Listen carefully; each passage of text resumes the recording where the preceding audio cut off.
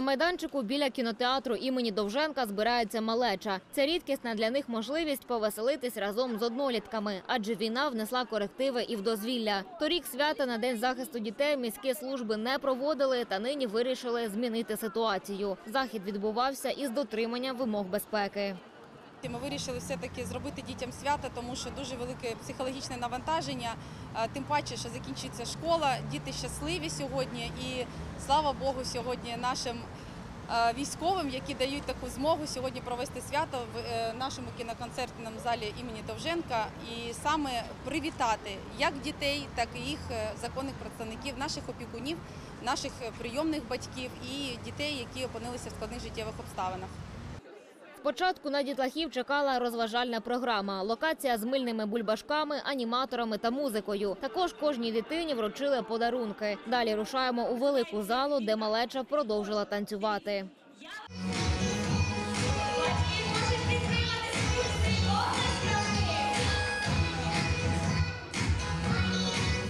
Під час свята очільник міста Анатолій Куртів відзначив 35 випускників запорізьких шкіл пам'ятними грамотами та грошовою премією. Останній рік для них пройшов надзвичайно складно у режимі онлайн. Тому така відзнака є вдвічі приємнішою. Діляться майбутні абітурієнти. Також не оминули увагою й першачків. Їм подарували портфелі з канцелярією та м'які подушки.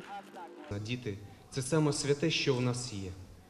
І від нас залежить, як ми йому допоможемо влаштуватися в життя.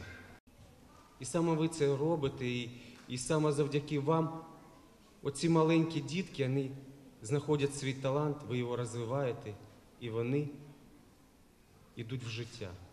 Малеча, яка завітала на свято, не приховує своїх емоцій. Батьки або ж опікуни діляться. Давно чекали на подію, яка хоч трошки розважить їхніх дітей.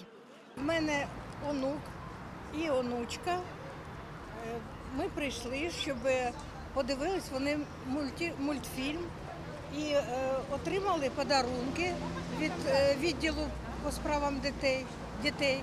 І ми дуже дуже вражені, що таке свято на- зробили для діточок.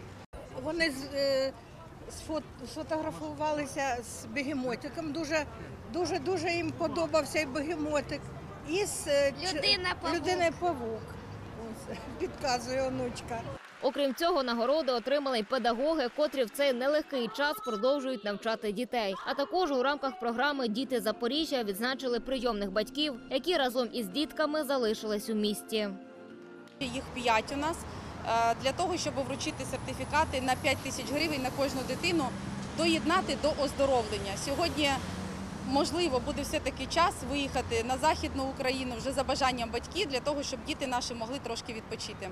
Після офіційної ж частини дітлахи переглянули мультфільм Кіт у чоботях. Тетяна Пода, Владислав Ващенко, телеканал МТМ.